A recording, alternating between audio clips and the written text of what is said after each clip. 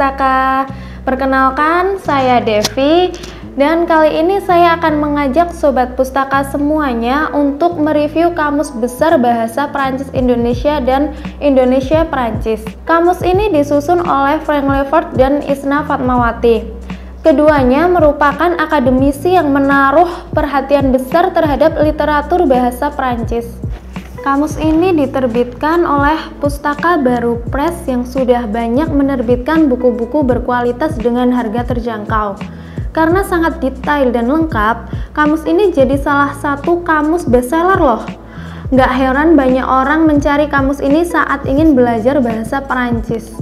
Selain disusun secara alfabetis, kamus ini ditulis menggunakan hasil penelaahan dari beberapa kamus referensi berbahasa Perancis-Perancis dan Perancis-Indonesia, baik cetak maupun berupa aplikasi.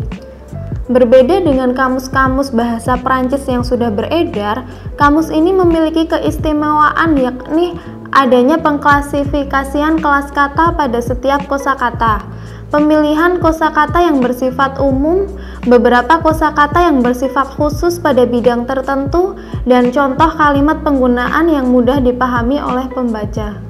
Tanpa perlu berlama-lama lagi, yuk kita lihat apa saja isi dari kamus ini.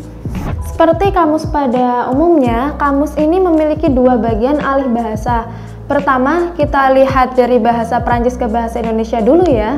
Di kata alfabet A yang pertama, kita dapat menemukan kata abaka yang artinya dalam bahasa Indonesia adalah serat pohon pisang Manila, Filipina. Lalu kata selanjutnya ada abazer yang artinya dalam bahasa Indonesia adalah menurunkan atau mengurangi jumlah. Kata selanjutnya kita bisa menemukan kata abandon yang artinya dalam bahasa Indonesia adalah meninggalkan atau mengabaikan atau menelantarkan. Lalu kata berikutnya ada kata abasurdir yang artinya dalam bahasa Indonesia adalah membisingkan atau memekakkan telinga. Lalu di kata selanjutnya kita menemukan kata aba yang artinya di bahasa Indonesia adalah bagian tubuh hewan yang dapat dimakan selain daging, seperti hati, paru, jantung, otak, usus, dan yang lainnya. Lalu di kata selanjutnya kita dapat menemukan kata abatau, yang artinya dalam bahasa Indonesia adalah tempat penjagalan. Masih ada banyak kata yang berawalan huruf A di dalam kamus ini yang bisa kalian pelajari di rumah. Sekarang kita beralih ke alfabet B. Di kata pertama, kita dapat menemukan kata baba yang artinya dalam bahasa Indonesia adalah memukau atau memikat. Berikutnya ada kata baby J yang artinya dalam bahasa Indonesia adalah mengoceh atau berceloteh atau mengomel.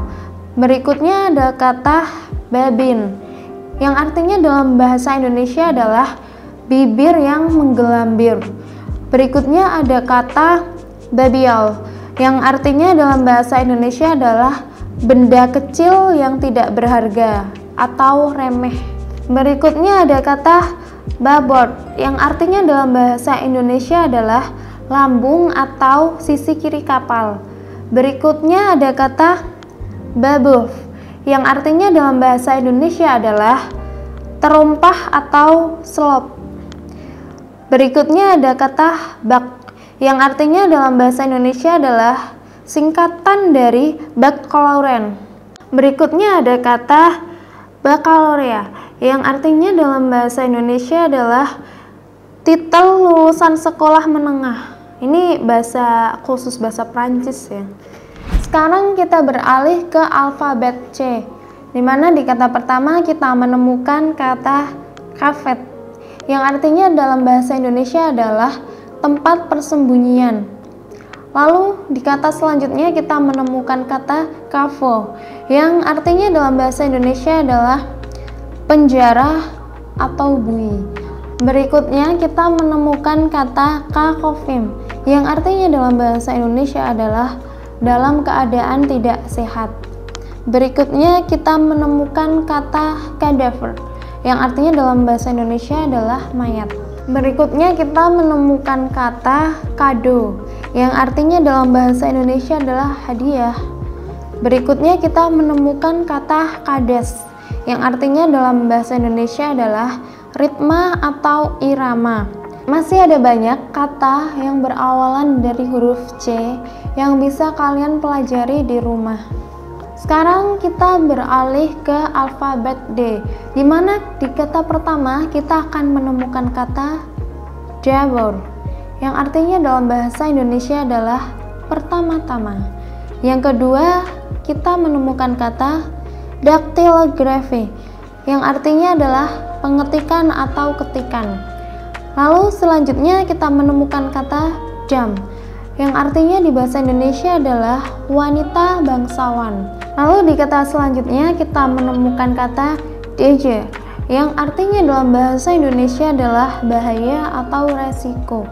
Lalu di kata selanjutnya kita menemukan kata D yang artinya dalam bahasa Indonesia adalah dalam. Lalu di kata selanjutnya kita menemukan kata dat di mana di bahasa Indonesia artinya adalah tanggal. Lalu di kata selanjutnya kita menemukan kata date di mana di bahasa Indonesia artinya adalah menanggali atau membubuhi tanggal. Masih banyak kata yang berawalan dari huruf D yang bisa kalian pelajari di rumah. Sekarang kita lihat alih bahasa dari bahasa Indonesia ke bahasa Perancis ya. Di kata pertama, kita dapat menemukan kata aba-aba di bahasa Perancis yang artinya commandement. Di kata berikutnya, kita dapat menemukan kata abad yang artinya di bahasa Perancis adalah shekel. Di kata berikutnya, kita dapat menemukan kata abadi yang artinya di bahasa Perancis adalah immortal. Lalu ada kata abah yang artinya dalam bahasa Perancis adalah direction Lalu ada kata abai yang artinya di bahasa Prancis adalah negligent. Lalu ada kata abdi yang artinya di bahasa Prancis adalah serviture. Lalu ada kata aben atau mengaben yang artinya di bahasa Prancis adalah cremation. Lalu ada kata abis yang artinya di bahasa Prancis adalah termine. Lalu ada kata abjad yang artinya di bahasa Perancis adalah alfabet. Lalu ada kata abnormal yang artinya di bahasa Perancis adalah anormal. Masih ada banyak kata yang berawalan dari huruf A yang bisa kalian pelajari di rumah ya. Sekarang kita beralih ke alfabet B, di mana kita akan menemukan kata bab yang artinya dalam bahasa Perancis adalah sujet atau point. Lalu selanjutnya ada kata babat yang artinya di bahasa Prancis adalah history atau chronique. Lalu di kata selanjutnya ada kata babat yang di bahasa Prancis artinya adalah tripes. Lalu di kata berikutnya kita dapat menemukan kata bablas yang artinya di bahasa Prancis adalah directement atau immediatement. Lalu di kata berikutnya kita dapat menemukan kata babu yang artinya di bahasa Prancis adalah servant. Lalu di kata berikutnya kita dapat menemukan kata baca yang artinya di bahasa Prancis adalah lion. Masih ada banyak kata yang berawalan huruf B yang bisa kalian pelajari di rumah ya. Karena masih banyak alfabet yang belum bisa saya sebutkan, kita peringkas ya. Misalnya nih, sobat pustaka pengen cari kata pagi dalam bahasa Prancis. Kira-kira pagi dalam bahasa Prancisnya tuh apa ya artinya? Yuk kita cari sama-sama. Hmm. Nah, ini dia. Jadi pagi dalam bahasa Prancis itu artinya Martin. Atau misalnya sobat pustaka ingin cari tahu artinya batu dalam bahasa Perancis itu apa, mari kita cari sama-sama.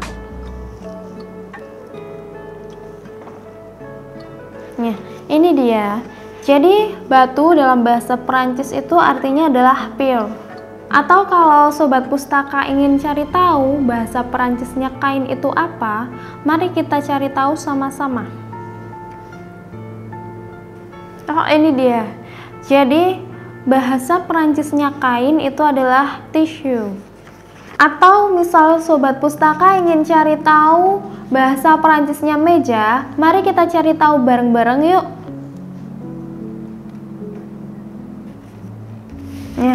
Ini dia. Meja bahasa Perancisnya adalah table. Ini sama kayak bahasa Inggris ya. Atau misal sobat pustaka ingin cari tahu artinya pisau dalam bahasa Prancis. Kira-kira artinya apa ya? Yuk kita cari tahu bareng-bareng. Ya, ini dia. Jadi artinya pisau dalam bahasa Prancis adalah couteau. Atau misal sobat pustaka ingin cari tahu arti sepatu dalam bahasa Prancis itu apa? Yuk kita cari tahu bareng-bareng. Nah, ini ketemu. Jadi, arti kata sepatu dalam bahasa Prancis adalah chaussure. Masih banyak lagi arti kata tertentu dalam bahasa Indonesia ke bahasa Prancis atau bahasa Prancis ke bahasa Indonesia di kamus ini. Agar lebih menguasai, bisa kamu pelajari sendiri di rumah ya. Nah, itu dia pembahasan kamus besar bahasa Prancis Indonesia dan Indonesia Prancis kali ini.